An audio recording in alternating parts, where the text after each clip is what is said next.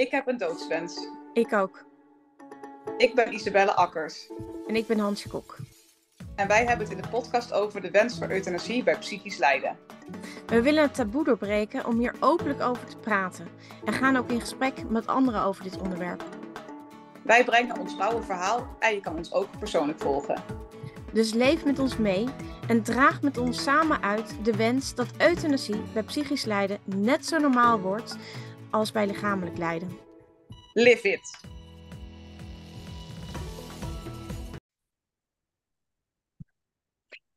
Zo, daar zijn we eindelijk weer eens een keertje. Want er heeft nogal wat uh, tussen gezeten voordat we weer met elkaar echt in gesprek kwamen. Want uh, jij bent ziek geweest. Je hebt, uh, ja. denk ik, vier weken lang jezelf heel blij in een bedje mogen verschansen. Ehm, Klopt. Dus toen konden we niet podcasten.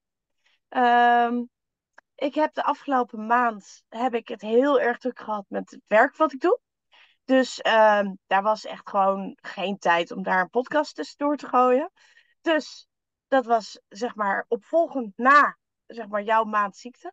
Dus dat betekent dat we al twee maanden niet meer hebben gepodcast. Heb je het gemist? Is lang hè? Ja. Ja. Definitely. Ja, ik heb het ook Maar dan heb je nu wel extra veel om over te ouwehoeren. We hebben ongelooflijk veel om mensen mee bij te spreken, toch?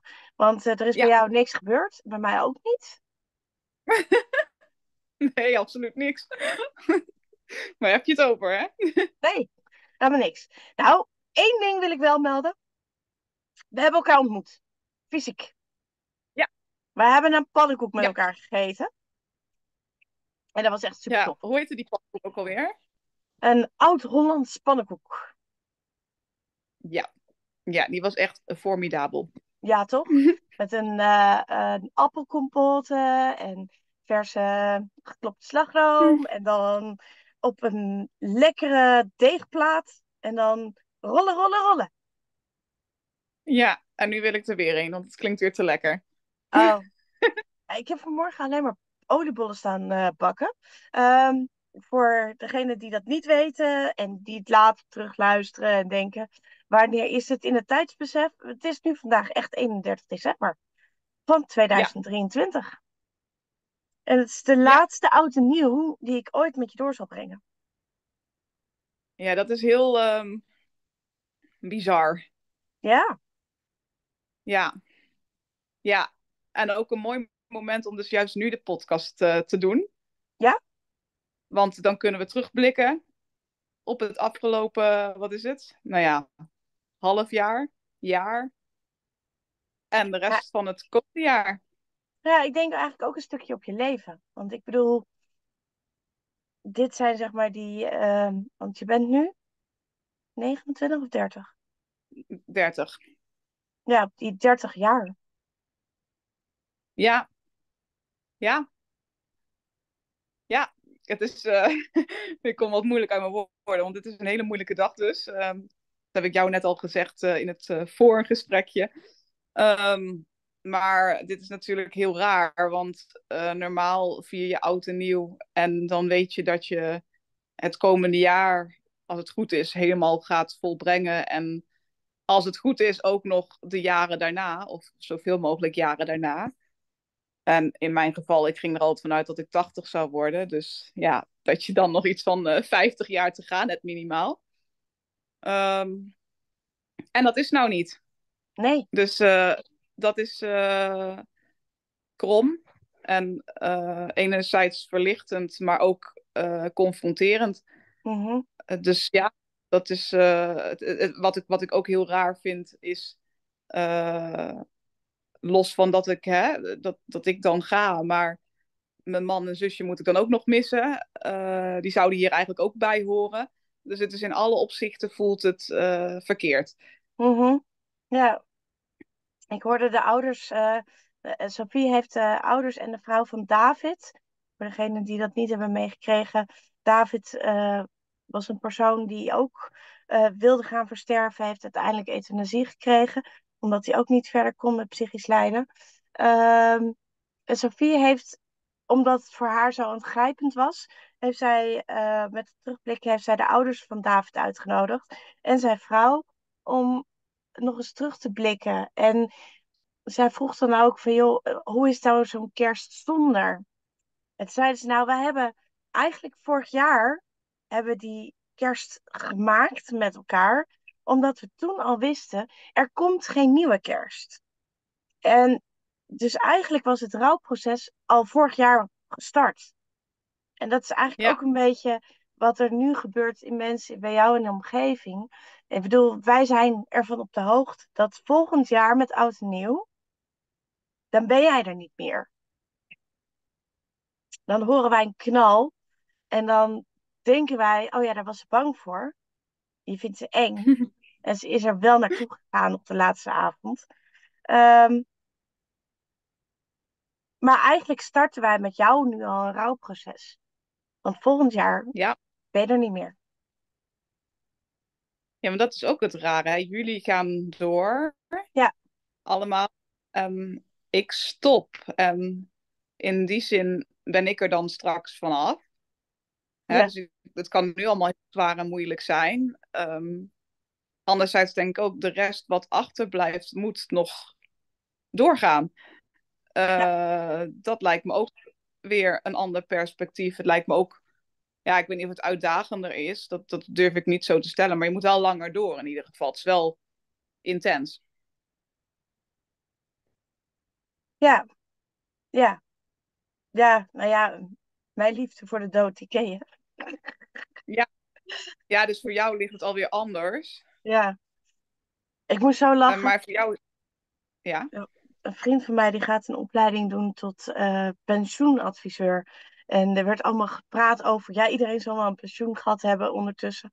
Ja, ik heb echt een mega pensioen gehad, want ik heb nergens ooit voor een werkgever gewerkt. Dus ja, ik zeg maar ja, ik heb het probleem toch niet. En dan zitten mensen altijd meteen zo te kijken van, wat zeg je nou? En ondertussen is het mijn humor. Weet je wel? ik hoop dat ook echt niet te bereiken. Stel me voor. Jeetje. Dan moet ik gewoon nog tot mijn 65ste door. 67 en dan nog. Ja, dat is ploeteren. Met bloed, zweet en tranen. Ja, dus dat. Dus ik snap dat ja. jij pensioen gehad, zeg maar, alvast schuld. Ja. Ja, en weet je, weet je, ik weet dus dat ik dan volgend jaar zeker weet te gaan. Als alles lukt. Um, maar hè, voor jou, jij, jij zit nog een beetje in een soort limbo van uh, of en wanneer er iets gaat komen. Ja, ja. Um, rechtgezet werkt nog niet mee. Nou, eigenlijk werkt nog niks mee. Schiet lekker op. Schiet lekker op. Maar jij kwam precies hetzelfde tegen. Want ook bij jou schiet niks op. Want je hebt daadwerkelijk contact gehad met Centrum voor Euthanasie? Ja, ja. Ik heb een uh, hele mooie brief gekregen. Ik ben er heel dankbaar voor. Uh, uh, nee, het, is, het is een hele mooie brief. Maar ehm, er stond dus in dat ze alle informatie voor de aanmelding hebben bekeken. En aan de hand van die informatie vonden ze dat ik wel uitgenodigd kon worden voor een oriënterend gesprek. Dat wil zeggen, dus hè, daarmee start je volgens mij dan gewoon het traject. Um, garantie tot aan de deur uiteraard daarna. Uh, maar dat zou dus minimaal een jaar duren voordat ja, dat oriënterende gesprek dan uh, plaats zou kunnen vinden. Ja, dan heb je het traject nog niet eens meegerekend qua tijdsduur. Dus er zit er nog een jaar bij. Nou, dan ben je al twee jaar minimaal bezig. Ik wacht al zeven maanden. Nou, dan ben je een kleine drie jaar onderweg. En nogmaals met garantie tot aan de deur. Maar er stond wel mooi aan die, in die brief uh, dat ze dus begrepen dat een jaar wachten heel lang is. En uh, ja, dat ze daarom eigenlijk zeiden van ja, wellicht kun je deze brief meenemen naar, ja, naar mijn eigen psychiater of een andere psychiater die dan bereid is om te kunnen helpen. Dat dit een soort van, ja, noem het maar een soort van ticket is of zo om aan te geven van deze patiënt hè, is, komt in aanmerking voor. Um, en dat er dus nog meerdere mensen zijn zoals ik, uh, die ja, eigenlijk niet kunnen wachten. Dus dat ze dat daarom dan als een soort van excuus of zoiets dergelijks uh, aanbieden. Ehm, ja, en oh ja, dat was, was ik nog vergeten. Uh, ik hoefde ook niet te bellen. Uh, want dat stond er ook nog ergens mooi in een regeltje. Want als ik zou bellen, zouden ze exact dezelfde informatie geven als wat er in de brief stond. Uh, dus doe geen moeite. dat was de boodschap eigenlijk. Oké, vriendelijk. En he, ja. hebben ze nou bij Centrum voor Euthanasie of Expertise, Centrum Euthanasie is het tegenwoordig, um, hebben ze daar dan een tussenoplossing? Dus dat, we, dat jij daar nog terecht kan om met iemand te praten, of dat je. Of is het nou, echt gewoon. Ze hebben... Ga maar lekker Nee, thuis ik- zitten met je shit. Ja. Ja, zoek, zoek, ja, eigenlijk zoek het maar uit. En het is, het is, kijk, ik snap, weet je, technisch gezien snap ik dat wat daar misgaat, is dat ze overlopen met aanmelding. Ik, ik snap het echt helemaal. En ik begrijp ook dat zij hè, als enige orgaan, zeg maar, of instelling of instituut, of wie het ook noemen, eh, overbelast zijn geraakt. Daar heb ik echt alle respect voor. Ehm, maar het is natuurlijk wel, ja, er moet wel iets veranderen. Ja, daarom zijn we natuurlijk ook wel hè, aan het babbelen in onze podcast daarover, uiteraard. Maar ik besef nu des te meer, als je zo'n brief ontvangt, dan denk ik van ja, ehm, het feit dat expertisecentrum euthanasie overloopt met aanvragen en zij het dus niet meer kunnen managen, eh, hè, die, die, overloop aan aanvragen, eh, dan moet er dus landelijk iets gaan veranderen. Dan moeten er dus meerdere ja, organisaties of, eh, of psychiaters of whatever, eh, of huisartsen misschien, komen die dus inderdaad gespecialiseerd raken. Want dit, dit loopt gewoon over nu. We- loopt echt over. En Kunnen wij nou verta- ver- ja, verklaren of vertalen waarom er zoveel mensen nu die weg vinden? Waarom ze nu die weg vinden bij, bij, bij expertisecentrum bedoel je? Ja, waarom er zoveel aanvragen zijn? Nou ja, ik denk persoonlijk, ehm, maar dat, dat is wat ik denk, hè. Eh, kijk, vroeger in mijn jeugd heb ik ook vaak willen gaan, en mijn zusje ook. Alleen het, het is niet heel erg aanlokkelijk om, eh, ja, nou ja, om, om voor een trein te springen. Trouwens, dat vind ik ook vet egoïstisch, zou ik nooit doen. Eh, of een overdosis te nemen, want dan kan je er nog eens verlamd uitkomen of iets dergelijks. Eh, al die andere methodes, noem het maar op, eh, of iets van de markt halen, waarmee je misschien ook mensen dan weer hè, aansprakelijk stelt met rechtszaken of iets dergelijks, dat die dan in de knoei komen. Ik denk oprecht dat er meer mensen zijn die dit gewoon op een nette manier willen afhandelen. Ehm, en dan is dat dus de weg. Eh, en een fijne, comfortabele manier, uiteraard. Ehm, want het geeft je ook de gelegenheid om fatsoenlijk afscheid te nemen van iedereen. En dat is met al die andere methodes niet zo. Ehm, dus ik denk dat dat het is.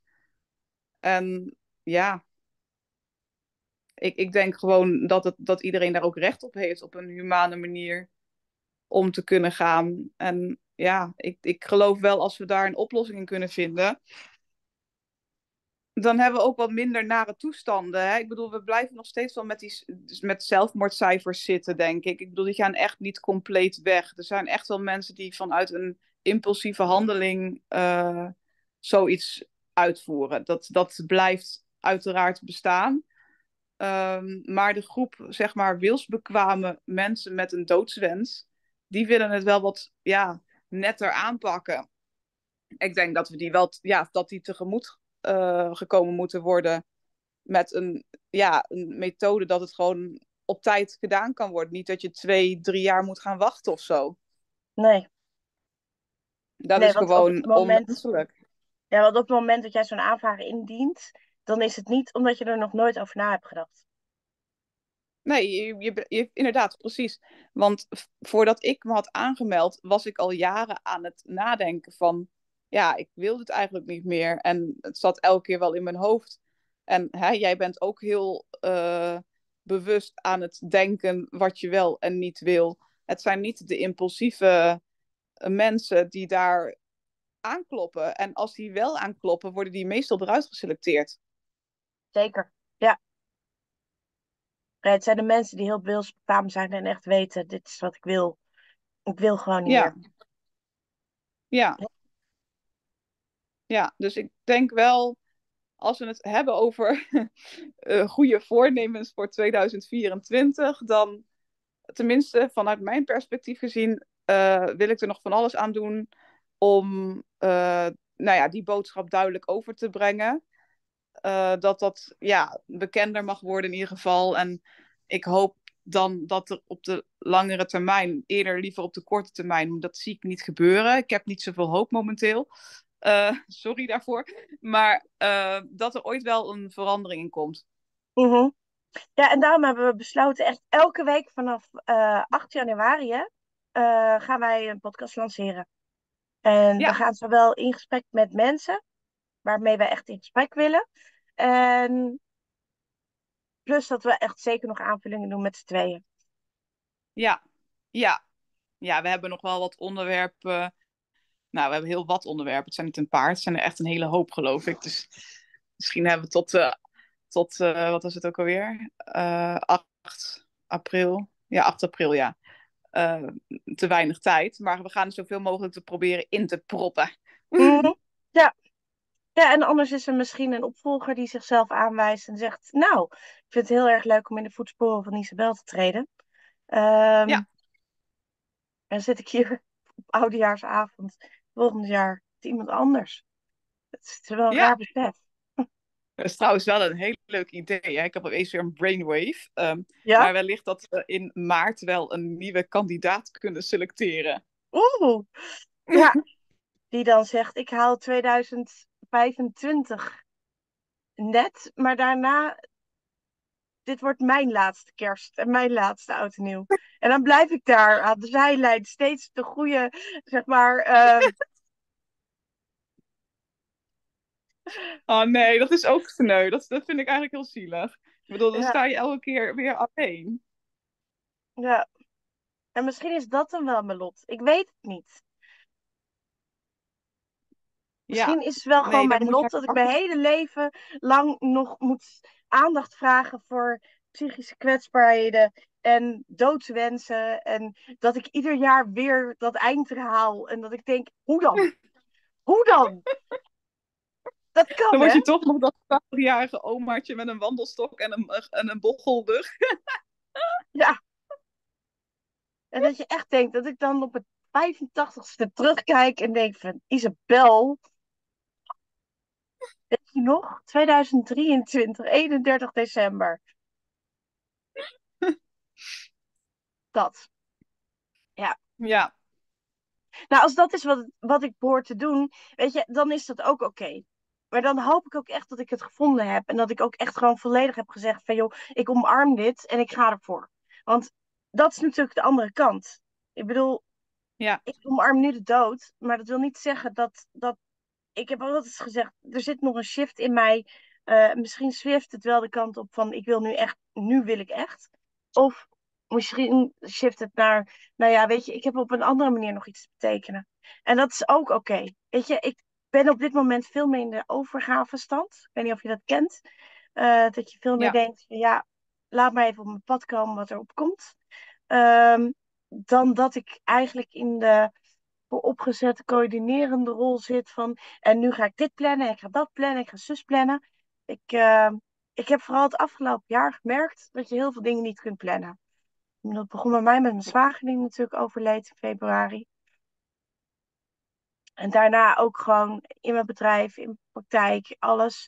Weet je wel, dat, dat ging dan even helemaal zo. En was helemaal leuk. En dan daarna weer helemaal die kant op. Dus het, het is echt ja, het is een vreemd jaar geweest. En ik denk dat ik ergens in oktober, november, dat ik zeg maar dacht, er is eigenlijk maar één weg en de weg is overgave. En dat, dat, dat is ook gewoon waar ik gewoon een beetje in wil blijven hangen. En iets minder voor opgezet. Maar goed, dat is mijn goede voornemen. Ehm, jouw Heeft goede voornemen? Ja. Ja, het geeft wel een stukje rust. Omdat je niet... ehm, ik hoef het niet te weten wat ik, eh, wat ik morgen doe. nee. Lijkt me wel echt, eh, ja, Dat, dat je minder chaos in je hoofd, hoofd krijgt daardoor of zo. Ja. Omdat je het gewoon laat komen. Lijkt me wel heel rustgevend, inderdaad. Ja, ik denk dat het rust geeft. En het geeft natuurlijk aan de andere kant weer stress. Want veel makkelijker om je dag in te plannen. Je weet, oké, ik sta dan op, dan doe ik dat, dan doe ik zus en zo. Ga ik naar bed. Ja. Stuk ja. Uh, rustiger. Ja, nu gebeuren de dingen gewoon onverwachts en je moet daarop acteren. Ja. ja. Maar dan in overgave. Dus wel vanuit mijn authenticiteit, wel vanuit wat ik voel en wel vanuit wat ik wil zijn. En niet meer vanuit, um, dit is het juist om te doen. Dit is uh, nobel. Dit is, uh, weet je, ik, ik mag daarin gewoon controversieel zijn, om het zo te zeggen. Zelfs in mijn overgave. Ja, nou, ik vind het knap. Ik bedoel, um, het is volgens mij een van de aspecten van Boeddha, toch? Je hebt nooit Boeddha bestudeerd. Ja, volgens mij doet hij dat ook. Ik, uh, ja, respect. ja, maar dat is een beetje wat meer een beetje over mij heen hangt. En dat betekent dus ook dat ik dus nu even geen idee heb. Wat ik wel merk is dat als ik over de dood heb, dat ik er heel enthousiast van word. Heel blij van word. En dat ik echt gewoon uh, er een bepaalde opluchting en vrijheid in voel. Maar als dat niet zo is, dan is het niet zo. Ik weet namelijk, nee. morgen ben ik het waarschijnlijk niet. Dood. Dus dan zou ik wel weer in overgave gewoon mijn dag leven. Ja. Ja. Ja, je bent natuurlijk nog in die onderzoeksfase hè, om dat allemaal te bestuderen. Nou, wat wel en niet mogelijk. Ja, nou weet je wat het is? Als het om jezelf gaat, is zo'n keuze helemaal niet zo moeilijk. Althans, vind ik. Als je alleen maar puur naar jezelf kijkt, ja. bedoel je? Ja. ja. Dan is zo'n keuze helemaal niet moeilijk. Nee. Maar ja, je hebt je gezin, bedoel je, nog om je heen. Ik heb een gezin, ja. ik heb zeg maar andere verbindingen, weet ik veel allemaal. Dus dat speelt allemaal ook een rol. Het is niet zomaar dat je zegt van joh, mijn beslissing heeft geen enkel effect daarin. Nee, nee. Nee, dat is zeker waar. Dat, dat, ja, klopt. Uh, ga ik trouwens deels in mee. En um, deels ook niet misschien, maar dat komt ook. Um... Ja, want jij hebt dat stuk af kunnen leggen. Jij ja. hebt op een gegeven moment kunnen bedenken: oké, maar wacht even, met wie, wie sta ik nou in het leven? Met mezelf. En, um... en mag ik dan ook die beslissing maken? Ja, en ik heb misschien makkelijker praten. Hè? Ik bedoel, mijn man en zusje zijn er dus al niet meer. Dus die laat ik inderdaad niet achter. Dus dat is inderdaad iets makkelijker dan. Um, anderzijds vind ik nog steeds dat, uh, ook even hypothetisch gezien, dat zij er wel waren geweest nog steeds. Uh, uiteindelijk leeft ieder zo zijn of haar leven. En je hebt gewoon beschikking over je eigen lichaam. En je mag ermee doen en laten wat je wil. Um, dus ook los van hè, of je wel of niet je gezin om je heen hebt. Als jij het gevoel hebt dat je echt moet gaan, welke manier dat dan ook is. Uh, ja, het liefst natuurlijk wel op een nette manier. Het is mm-hmm. fijner voor de rest. Um, en voor jezelf. Maar dan vind ik gewoon dat je daar nog steeds het recht op hebt. Of dat het makkelijker maakt, dat is de tweede vraag natuurlijk. Want hè, het is natuurlijk gewoon wat ik al zei. Je hebt je gezin om je heen. Dus dat je blijft toch mens en je blijft moeder en partner van. Dus natuurlijk ga, ga je dat ook meenemen.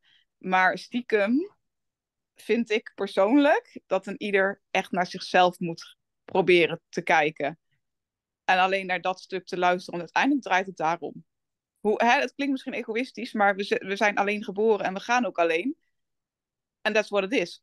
Mm Ja, ik hoor wat je zegt. En het is toch ik merk dat ik daar dus nog niet los van ben. Nee. Nou, en dat mag ook. En dat is ook prima. Ja. Ja, ik denk dus dat dat ook oké is. Ik denk dat alles in fases gaat en dat het niet zomaar iets is. Weet je, het is niet zomaar iets wat je zegt. Het is niet zomaar iets wat nee. je heeft. Ik bedoel, het is niet zomaar dat jij zegt van nou, uh, ik, wil niet meer ik wil niet meer leven, ik ga dood. Daar... En het mooie is, hè, je hebt je hele leven om die beslissing te maken. Dus dat is ook wel weer mooi. Je hebt de tijd. Ja. Zolang je de tijd hebt. Klopt. En soms word je ingehaald van links of rechts of uh, door een bus. Uh... ja, dat is wel waar. Oké, okay, touché. um, even denken. We zouden even terugkijken op het afgelopen jaar. Er is heel veel in gebeurd. Ja. Voor jou. Um, begin van het jaar, van dit jaar, stond jij getrouwd. Weliswaar met het verdriet van je zusje. Um, eigenlijk nog best wel in het leven. Ja. Ja, dus dat is. Ik vind het ook weer heel moeilijk voor te stellen, maar dat was zeker zo, ja. Want uh, ondanks de rouw, inderdaad, uh, was ik nog op vakantie geweest. Een hele mooie reis gemaakt uh, met Draakje. Ja, zo, zo noem ik mijn man dus. Um, in Portugal en Spanje. En dan denk je van, nou, hoe mooi los van de rouw kan het leven zijn? Ja, dan gewoon een mooie tijd gehad samen. Dus uh, toen dacht ik ook van, nou, dan ga ik nog wel eventjes door. Um, maar ik moet wel zeggen, ik had voordat hij stierf, want hij is, uh, nou, 12 mei kreeg hij dat hartinfarct en 15 mei is dan in het ziekenhuis overleden. Maar ik had wel een post daarvoor, kreeg ik toch al het gevoel, en ook tijdens die reis een beetje al, van ja, ik heb jou hè, eeuwige trouw beloofd en tot de dood ontscheidt of zo. Maar ja, hoe lang duurt dat, dacht ik nog. Toen ging ik rekenen. Ik denk van ja, nou, ik, denk, ben 30. Nou, dan moet ik nog 50 jaar gaan of zo. Nou ja, iets korter, want Michel die scheelde natuurlijk 22 jaar met mij. Dus misschien iets korter. Maar toch, ik denk van dat is wel heel erg lang. Uh-huh. En dan ga ik niet redden. Dus toen dacht ik al van ga ik het nog vijf jaar volhouden? Nee. Ga ik het nog twee jaar volhouden? Ook niet. Alleen ik heb hem dus nooit gezegd dat ik, dat ik die wens had om te gaan. Ja, toen, toen hij ging, kreeg ik natuurlijk de vrijbrief om het echt, uh, om daar actief op te handelen. Dus ja, zo is eigenlijk het balletje gaan rollen naar dit traject waar ik nu dan mee bezig ben. Um, maar ja, inderdaad, ik stond nog wel volop in het leven, want ik was nog met alles bezig. Uh, paardrijden, motorrijden, met de landrover op pad. Uh, gewoon lekker veel knuffelen met draakje. Uh, wandelen met de hondjes. echt van alles. Lekker eten. biertjes drinken. Ja, noem het maar op. En dan opeens, nu is het 31 december, sta je hier. En dan denk je van, ik werk naar mijn einde toe. Dat is heel erg, uh, heel erg, uh, ja. Maar ik weet niet, ik heb daar niet eens een woord voor. Onwerkelijk, denk ik. -huh. ja. ja. En wat een half jaar geleden, zeg maar, uh, heb je toen, ja, zeven maanden geleden heb je natuurlijk je brief toen ingediend. Je aanvraag. Ja, ja en dat was ook uh, naar aanleiding van een gesprek met iemand. Want uh, ik wist niet dat ik ja, in aanmerking zou kunnen komen voor dat traject. Uh, ik dacht dat ik niet goed genoeg zou zijn of zo. Maar zij gaf aan van, maar meid, en dat bedoelde ze echt positief, je bent er al lang klaar voor. Um, dus eigenlijk dankzij haar heb ik dus inderdaad, dacht ik, dus een uitweg gevonden.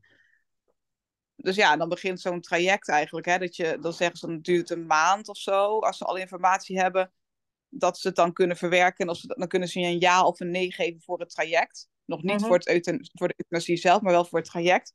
Nou, daar zijn voor mij nou, vijf tot zes keer die, die, ma die maand overheen gegaan.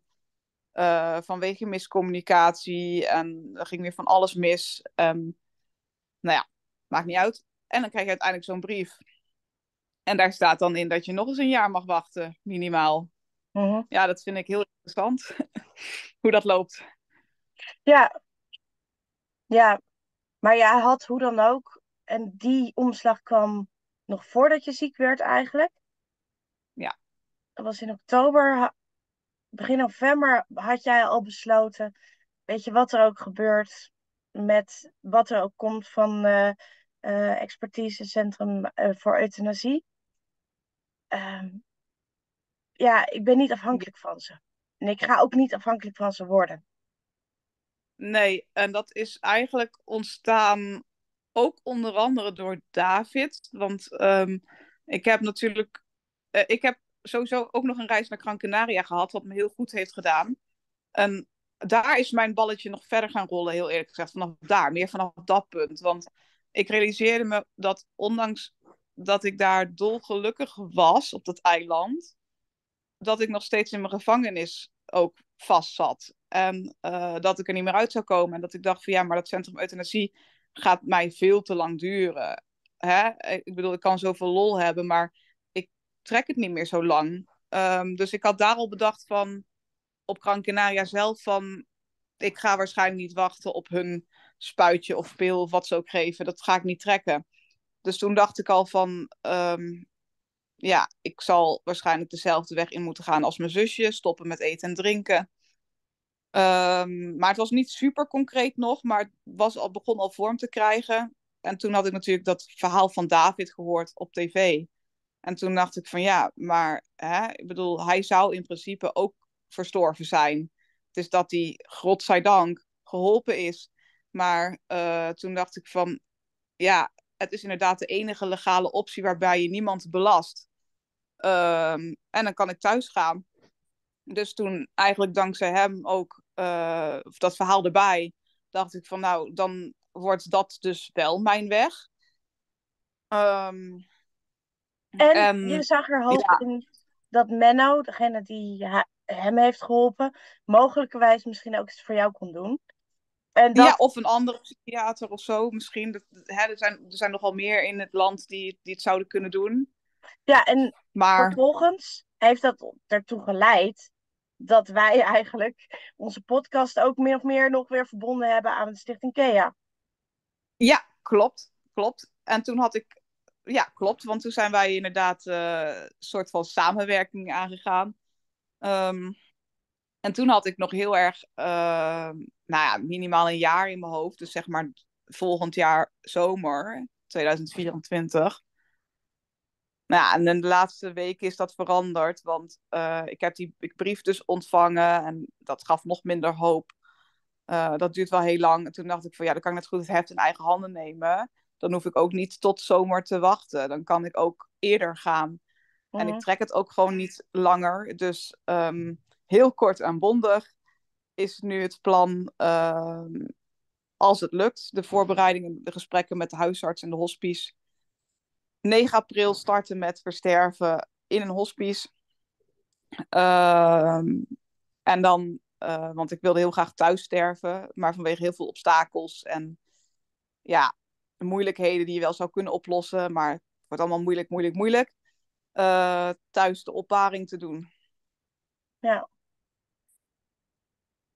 Maar ja, dan moet wel het versterven lukken natuurlijk.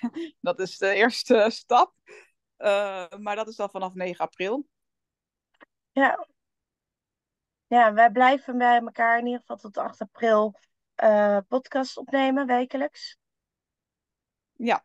Zolang het lukt. Want, weet ja. je, misschien is er een moment dat het allemaal toch weer eerder is. We zien het wel. Misschien wordt het later. Kan ook. Door alle omstandigheden. Dat kan ook. Of het mislukt, dat kan ook.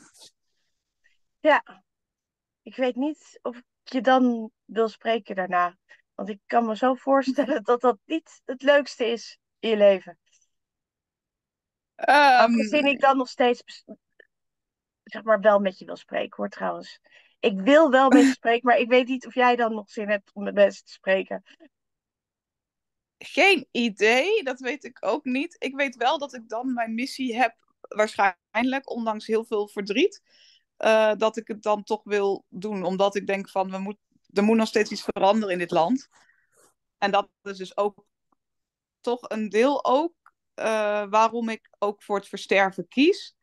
Uh, want hè, het is ook maar de enige nette optie voor mijn nabestaanden en dierbaren. En ook de enige legale optie. Maar ik denk wel, het is ook gelijk een best wel heftige, intense methode, toch? Um, dus ik hoop oprecht dat het lukt. Niet alleen voor mezelf, maar ook voor lotgenootjes. Want we gaan alles vastleggen. Uh, het, wordt, het wordt dus allemaal gefilmd en gefotografeerd. Um, ergens, at some point, wordt het in mijn vlogs, denk ik, uh, uiteindelijk uitgezonden.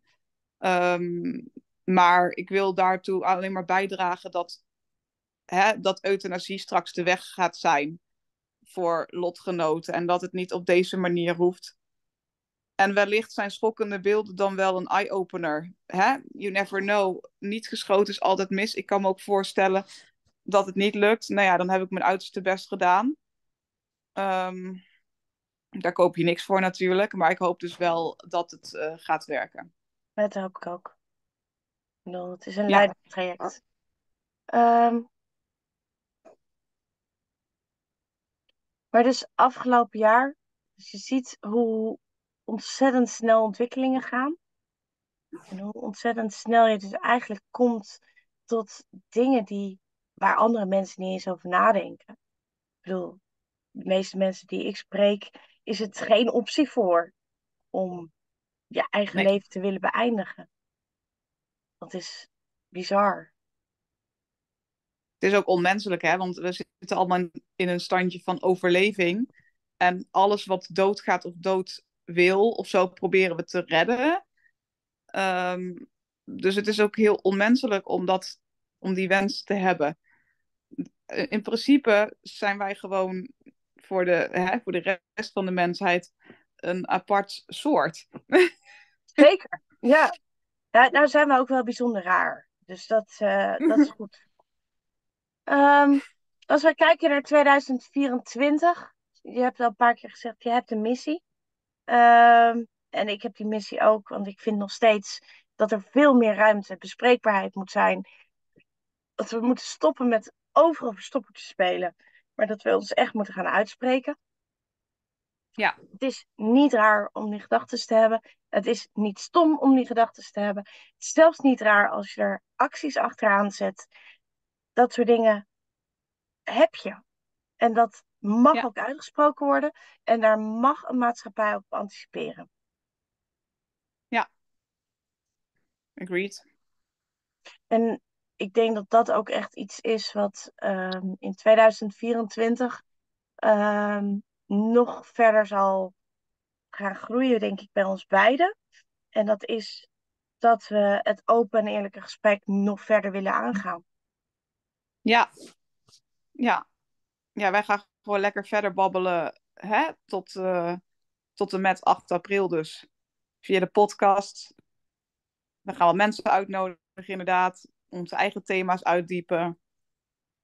Heel veel joie de vivre erin gooien. En ehm, ja, kijken waar het ons brengt. Zeker. Ja. Ehm, nou ja, weet je, ehm, aan het eind van zo'n jaar. We kunnen wel eens kijken of er nog een leuk kaartje is. Ik heb hier het kaartendek van eh Vertel eens. En die blikt Oeh, terug. Die blikt terug en vooruit op, ehm, zeg maar.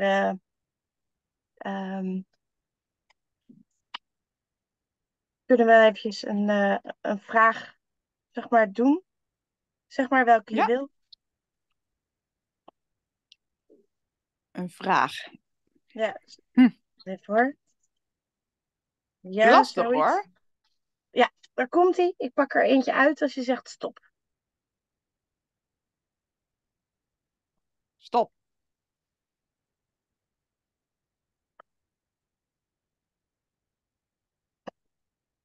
Een vooruitblik naar het komende jaar. Waar kijk je het meest naar uit?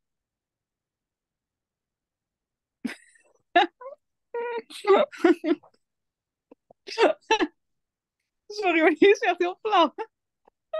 Mijn verlossing. Het waren er twee die op geplakt waren.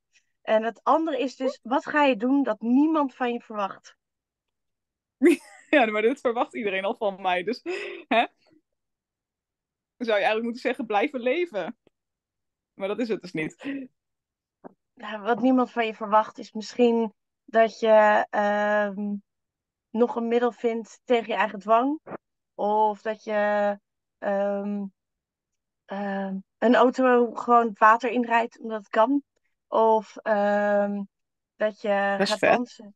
Dat je gaat dansen op het kerkhof eh, eh, waar je uh, begraven wil worden. En daar een film van Oh, maakt. Weet je, ik bedoel, ik kan tigduizend dingen verzinnen die mensen niet verwachten van je, maar die je nog zou kunnen doen. ja, dat klopt. Ja, ja. Nou, ik heb wel één ding al gedaan die mensen niet hadden verwacht. Ik heb, eh, was aangehouden door de politie. Oeh. Omdat ik Ja. illegaal met mijn eigen auto rondreed. Nou, dat vind ik dan Ja. wel weer eentje voor je Guinness Book of Records, of wat was het?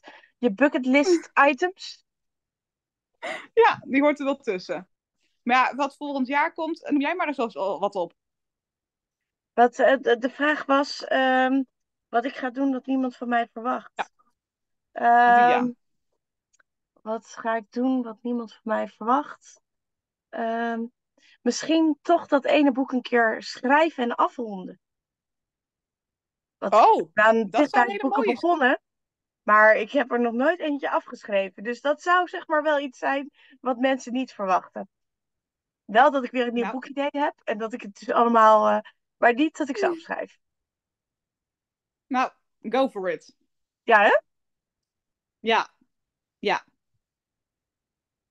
Ik duim voor je. Hebben wij nog een wens voor mensen? Een wens. Nou, de enige echte wens die ik kan bedenken, en die roep ik eigenlijk altijd al eh, overal, eh, liefde. Dat is gewoon letterlijk, het is, het is echt een cliché, ehm, maar ik denk dat dat het enige is wat uiteindelijk telt, want dat blijft overeind. En dat is het enige wat mensen nodig hebben. Mhm.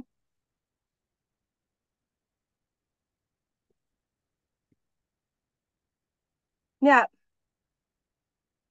ja ik, ik zou toch ook wel willen zeggen, ik hoop dat mensen zich in 2024 meer durven uitspreken. Mooi. En ik vind het ook wel heel fijn als mensen weer meer met elkaar willen verbinden. Dus echt, dat er echt gewoon een, een overdracht is van menselijk naar menselijkheid. Weet je wel? Dus niet dat ehm, ik ben beter dan jij of ehm, ik vind dat ik het meer verdien. Weet je, voor mij leven dat soort dingen helemaal niet. Wil graag dat Nee, het... moet allemaal jezelf kunnen zijn zonder dat daar een oordeel op zit. En we zitten allemaal op gelijke voet. Ja, en dan daarin verbinden, connecten. Weet je, ik bedoel, wat wij aangaan is ook een verbinding. En we, zelfs met de wetenschap van, joh, die verbinding zal hier op aarde niet zo lang zijn, eh, dat je het niet uit de weg gaat, maar dat je die verbinding nog steeds aangaat. En dat je echt denkt van, ja, Ja. weet je, je bent gewoon een superleuk, inspirerend persoon. En ik wil alleen dan maar kunnen zeggen, ik heb er gekend, ik heb er mogen kennen. Weet je wel, dat. Dat vind ik gewoon Nou, andersom is dat trouwens ook, hè. Want eh, ik ben echt heel blij dat wij dit samen doen. En ik vind het ook heel leuk dat we pannenkoeken kunnen eten samen. En dat we dan gewoon de lol hebben. En soms ook de, ja, de dark sides hè, naar boven laten komen. Gewoon dat we dat kunnen. Dat, dat, dat kan ik niet met iedereen. Nee. maar dat komt omdat mensen nou helemaal niet die kant van zichzelf ook op willen. Merk ik heel vaak. Want stel nou voor dat je over dingen na gaat denken. Of dat je ehm, het aan wil kijken in jezelf, dat stuk. Er is altijd een deel, denk ik, ook bij iedereen die ehm, stiekem denkt: als ik hier waar vanaf ben, dat zou best wel fijn zijn. Wij benoemen het gewoon allemaal, weet je. Ja. En zonder dat ik, eh, en zonder dat er iemand ook een oordeel heeft over de dingen die je, weet je wel. Je merkt heel vaak dat mensen dan toch het eh, zeggen ze, oh ja, goed voor je en wat knap van je. En goed dat je het hebt besloten. Ze staan er helemaal achter. Ehm, Ja. Maar eh, in 2026 hebben wij een afspraak, hè? Dat Ja, niet meer. Ja, Weet je wel, dat, eh, ja, is er niet iets wat, wa- waarvoor je dan verleid kan worden? Ik denk, dan accepteer je het toch eigenlijk niet? nee, klopt. Ja, nou ja, precies wat jij zegt. Die, die uitspraken, of soortgelijke uitspraken, ja, die hoor ik ook regelmatig. Mhm. Ja. Maar wat, wat het ding is, kijk, jij en ik, wij komen heel vrolijk over. Hè? En eh, vol levenslust. En dat hebben we natuurlijk ergens dus ook. Ehm, maar het is dus, voor hun werkt het dus niet dat je een doodswens kan hebben naast die aspecten. Hè? Want vaak zijn het, uh, het, het beeld is natuurlijk een depressief persoon. Ja. Maar wij zijn niet depressief of continu depressief. Ik, ik ben wel eens depressief natuurlijk, maar het heeft niks met depressie te maken. Het heeft gewoon te maken met een innerlijk, innerlijke wens of verlangen om, om met dit leven klaar te zijn. Het staat los van hoe je zeg maar, hè, of je wel of geen depressie hebt. Wij zijn gewoon heel happy soms ook. We kunnen ook echt lachen en humor hebben. Hè? En, dat, dat, dat, en dan nog hebben we de wens. Alleen dat snapt men niet. Nee. Nee. Begrijp ik ook wel weer. Dat ze het niet begrijpen. Nee, omdat, omdat het tegenstrijdig lijkt. Ja. Maar ik ben er wel achter dat ik ontdekt heb dat ik echt een dualiteit ben. Ik weet niet of jij dat ook ontdekte ja. bij jezelf. Um, ja, ja, sowieso. ja, weet je, dus en dat, dat maakt het ingewikkeld. Maakt het ingewikkeld voor jezelf, maakt het ingewikkeld voor de ander. Ja, ja. Maar weet je, dat vind ik dan weer het leuke. Wij zijn mysteries. Ja. En dan denk ik, met mij, met mij en met jou zijn er nog een heleboel mysteries die met hetzelfde rondlopen en die tegen dezelfde muren oplopen. Dus als ja. we nou gewoon eens flink onszelf blijven uitspreken, dan lossen we dat probleem misschien een stukje op. Ja, nou, ik zou dat heel mooi vinden. Ik, ik zou dat het mooiste cadeau vinden ever. Als een deel dus, van het mysterie wordt opgelost. Dus daar gaan we voor. 2024 gaan wij het mysterie helpen oplossen. Ja. Ja. Zekers. Top. Let's do this. Ja? Dit was hem dan, hè? Einde ja? van 2021, 2023. Ja. ja. 31 december. We gaan hem afsluiten. Het is heel bizar. Het voelt ook echt... Uh, ik heb letterlijk een brok in mijn keel. Um, maar we gaan het wel zo afsluiten. Ja. Volgend jaar is het anders.